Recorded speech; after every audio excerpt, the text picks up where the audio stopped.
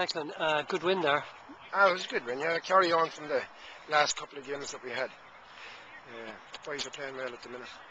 First half, uh, things were a bit wobbly there for you. Uh, it's, it's, you just can't come to Castleblayney and expect everything to go well. You know, it just takes a wee bit of time to settle in. You must been extremely pleased with the second half recovery. Yeah, the boys, this this team can play a bit of football, and they're all young, and sometimes big teams can overshadow them. They get a wee bit nervous. And, Impressed with your midfield in second half. Uh, began to get the power up and get the, the ball forward. two two good young footballers who like to play football, like to go, like to forward the ball. You know. And uh, what's your priorities now for the for the uh, for your the, your league campaign at the moment? Priorities training session next week. That's the only priority we have. Okay. in our head. And your ambitions now for this this team, this, this Only young one team. ambition, and everybody in the county knows that our Yeah. ambition is to stay in senior football. That's Okay. our only ambition. Where do you see the strengths of this team?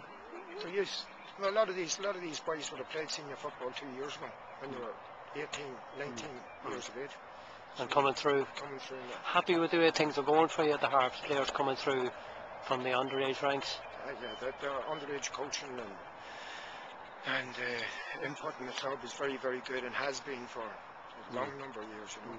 And tell me, from your, your point of view, Declan, what uh, what draws you to this role as, as management? What's the attraction of it for you? I would have coached a lot of these boys at 15 years of age. And I suppose if I was going to take the job now, I may as well take it when these boys are at this.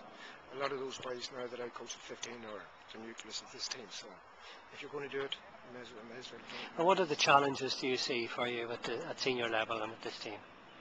Uh, the challenges that we have at senior level would be believing that we're good enough to be in senior football. Hmm. Okay me believing in it, but eventually the boys come around to believe that you know, they're good enough to be in. And you have a core, good core group there now. You have, you have county experience in there as well. We've county experience. We have we have a few boys to come back as well. You know, who haven't.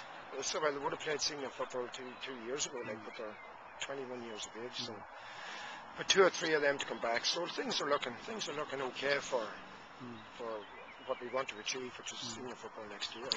Move very well. Very impressed with the move in the second half, passing and, and, and delivery, particularly the finish.